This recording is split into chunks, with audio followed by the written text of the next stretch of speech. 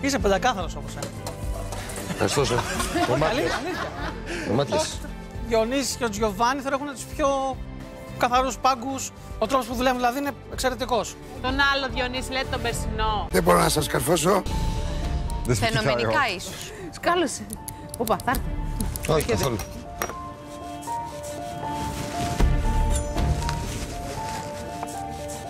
Όχι, είναι καλό, τον έχω δει και εγώ.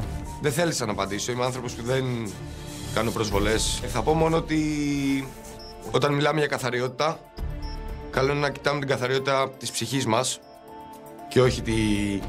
αυτή που φαίνεται.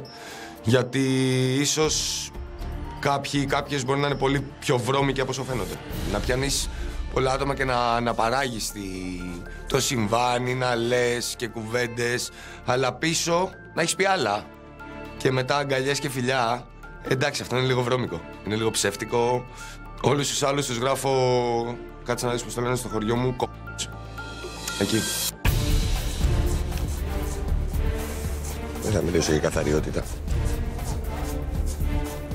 Σε δοκιμασία αποχώρησης που ήταν ο, ο Διονύσης, τα είχε κάνει όλα p***να. Δεν του άρεσε το Διονύση, το πήρε πολύ προσωπικά. Ε, το πήρε προσωπικά γιατί έχει προσωπικά μαζί μου. Με έχει στοχοποιήσει θα πω. Λυπάμαι που είμαι τόσο όμορφη, Λες και είσαι τρακάρι με το μετρό είσαι. που είμαι τόσο καλή μαγείρισα, που δεν μπορεί ε, να κάνει παρέα μαζί μου γιατί δεν θέλω. Ε, δεν με πειράζει.